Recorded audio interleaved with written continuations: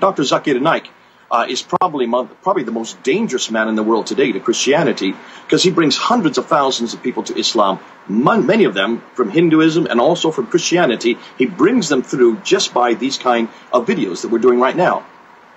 He goes all over the world. He was to come here in uh, Britain last July, and uh, he was going to come. Uh, they were going to bring him down to Wembley Arena, which seats 12,000. They sold out tickets for his meeting in two hours. Now, this man is dangerous. This man is enormously popular. He knows Urdu, he knows Hebrew, he knows Greek, he knows English, he knows Arabic.